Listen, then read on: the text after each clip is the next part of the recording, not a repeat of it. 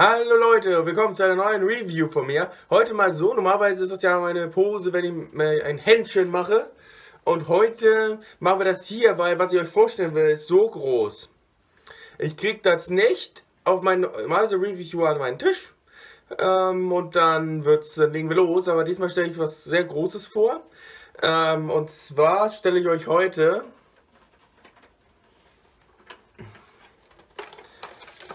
den Infinity Gauntlet vor. Aus der Marvel Legends Serie. Und das ist der Handschuh von Thanos, wie man ihn aus dem Infinity War kennt. Ähm, es, ich, ich, fand ja, Thanos ist ja allgemein so. Ich fand ihn ja im Film großartig. Ich finde ihn wirklich geil. Also ohne Frage. Ähm, fand ich im Film halt wirklich super. Und dann habe ich gesehen, dass, dieser, dass das Teil hier rauskam. Und ähm, ich habe ein bisschen gewartet, aber ich habe ihn mir dann auch am Ende gekauft. Ähm, es gibt natürlich auch noch etwas günstigere Varianten davon, aber die sind halt nicht der the real deal, wenn ihr versteht, was ich meine. So, hier haben wir das Teil. Ich komme ein bisschen näher mit der Kamera. Also erstmal seht ihr, wie groß. Das war jetzt nicht der Plan, das ignoriert ihr kurz. Also, erstmal könnt ihr, gut, da können wir uns mal die LEDs angucken. Wie ihr seht, alle sechs Infinity-Steine haben eine sehr, sehr helle LED. Und ich mache mal so, das erkläre ich euch gleich. Man kann diese ganzen schönen Details hier erkennen, die man hier eingearbeitet hat. Das ist super in der Kameraqualität. Also, wie gesagt, auch die Steine hier, ich hoffe, die gehen gleich, die gehen nach einer Zeit aus. Dann sehe ich da jemand auch mal genau. Auch hier an den Fingern haben die auch sehr schön verarbeitet. Hier die ganzen Details. Sehr, also wirklich sehr, sehr filmakkurat. Auch hier die Innenseite. Haben wir auch hier, als ob das alles Gelenke sind, weil es müssten ja alles so Kettenglieder sein. Oh, also es ist halt wirklich sehr cool gemacht. Jetzt sind sie ausgegangen und hier haben sie auch hier so ein, so ein Kettenmuster reingemacht. Das fühlt sich echt schön an. Auch hier, wie gesagt, diese ganzen Details hier. Alles eingearbeitet, das hat alles so eine Metalle ist nicht angemalt, das Plastik ist in diesem Metall, Bronze, das heißt, ihr könnt ruhig damit ein bisschen spielen, da geht keine Farbe ab. Das ist natürlich sehr praktisch, muss man natürlich wirklich sagen. Eins, was vielleicht ein bisschen unschön ist, das fällt aber überhaupt nicht auf, das sind hier die, die Schraubenlöcher. Mm, aber gut, da müsste man, müsste man sich auch über die Gelenke hier aufregen, deswegen sehe ich da jetzt keinen Real Deal drin. Die Batterien sind übrigens hier schraubt hier auf. Was ich ein bisschen schade finde, es gibt keinen An- und Ausschalter. Das heißt, das Ding ist Dauer an. Ähm, und äh, das heißt, ihr drückt drauf, das Leute geht aus, aber die Batterien laufen halt die ganze Zeit leer. Man kann die nicht ausmachen. Ähm, ich verstehe es überhaupt nicht. Das ist, das ist ein sehr, also eigentlich ist es ein über 100 Euro Artikel. Ähm, und es war echt nicht drin, hier einen An- und Ausschalter einzubauen. Ähm, selbst dieser, es gibt ja davon auch den Hammer von Thor. Selbst der hat einen An- und Ausschalter. Gut, das sieht ein bisschen doof aus, weil der an der Unterseite vom Hammer ist. Aber hier hätte man das Ding super verstecken können. Egal, so. Jetzt kommen wir nämlich zum eigentlichen Feature. Man kann, also man hat sein, man kann erstmal sehen, wie groß dieses Loch hier ist, wo du reingreifst. Also, euer Arm wirkt danach extrem winzig. Ähm, da sind so solche ähm, Ringe. Da greift ihr mit den Fingern rein. Und dadurch könnt ihr mit jedem Finger die Finger separat bewegen. Das wir greifen rein, jeder Finger ein Ring. Und dann es gehen automatisch beim Bewegen das erste Mal die LEDs an.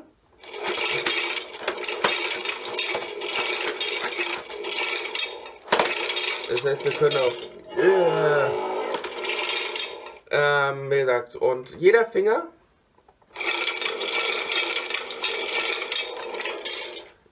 ist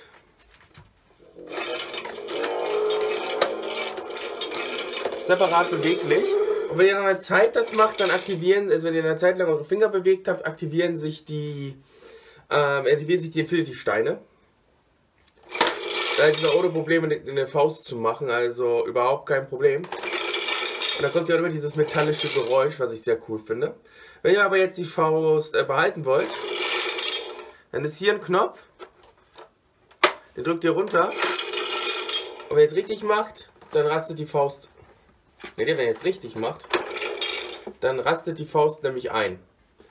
Damit kann man sich das auch dann super hinstellen. Aber ich bin tatsächlich mehr für die offenen Finger.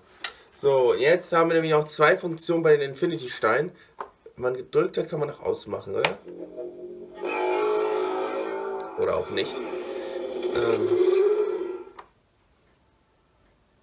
ich muss gerade noch mal gucken. Hm?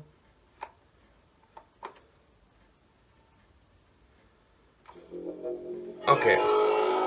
Also ich wollte es eigentlich nochmal ausmachen, zu demonstrieren. Also es gibt einmal, die, einmal nur kurz drauf.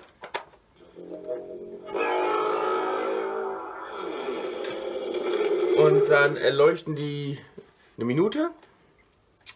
Es gibt aber auch, ihr hättet länger gedrückt.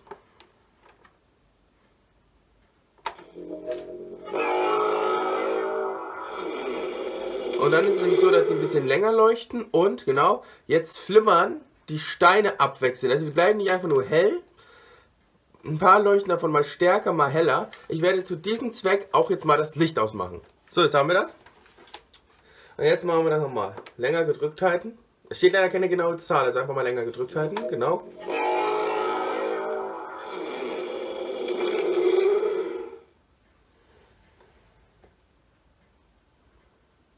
Ja, wie ihr seht, die leuchten nicht nur einfach, sondern die flimmern auch ein bisschen hin und her. Was ich halt äh, super finde, dadurch wirken die Steine halt auch wirklich so ein bisschen lebendig. Weil die äh, sind ja halt die Infinity-Steine. Und ja, wie gesagt, das ist halt schon ziemlich cool. Und ihr könnt auch, wenn ihr Bock habt, ihr könnt auch tatsächlich Dinge damit halten. Nehmen wir doch zum Beispiel mal den Infinity Gauntlet. Tada! Also können wir den jetzt durch die Gegend tragen. Funktioniert übrigens mit Stofftieren besser. So, dann werde ich da nochmal kurz einen Cut machen und dann abschließendes Fazit zu dem Teil. Also, was gibt es abschließend zu diesem Teil zu sagen? Also, das Teil ist ein Must-Have für alle äh, Marvel Avengers Fans, also natürlich für die Thanos Fans, weil ähm, es, halt, es halt ein Riesenteil ist, was ihr da habt und es halt extrem cool ist, dass ihr damit auch wirklich spielen könnt. Wie gesagt, also Daumen hoch dafür. Ah, okay. Ja, und ja, ihr könnt auch. Ja, ihr könnt auch den hier machen. Gut, haben wir es auch geklärt. So. Aber wie gesagt, das ist halt, es ist halt wirklich ein super Teil. Kann man nichts gegen sagen. Ähm, ich hoffe, euch hat diese Review gefallen. Und ansonsten wünsche ich euch heute natürlich wie immer einen schönen Tag und bis zum nächsten Mal.